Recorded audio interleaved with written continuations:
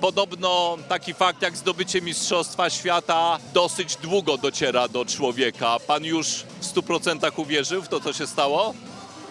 Znaczy uwierzyć już uwierzyliśmy, e, co się stało, ale chyba tej skali takiego jakby sukcesu i tego osiągnięcia, tego chyba jesteśmy jeszcze nieświadomi, że tak powiem. I myślę, że to może przyjść nawet po karierze dopiero.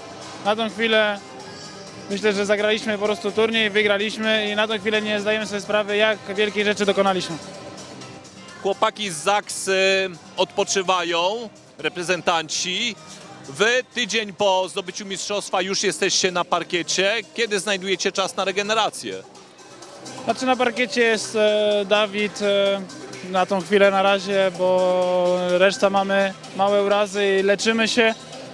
E, lub Piotrek ma po prostu odpoczynek, bo musimy odpocząć e, psychicznie, fizycznie oczywiście też, ale bardziej psychicznie od siatkówki, e, żeby te emocje wyciszyć i zabrać nowej energii na kolejny sezon. Pan też ma jakiś uraz? Co to jest za uraz? Ile ewentualna terapia zajmie? To jest 2-3 tygodnie, delikatne problemy z Achillesem, nic groźnego. Ale tak mówię, no 2-3 tygodnie i będę sprawny w 100%. Cele na bieżący sezon?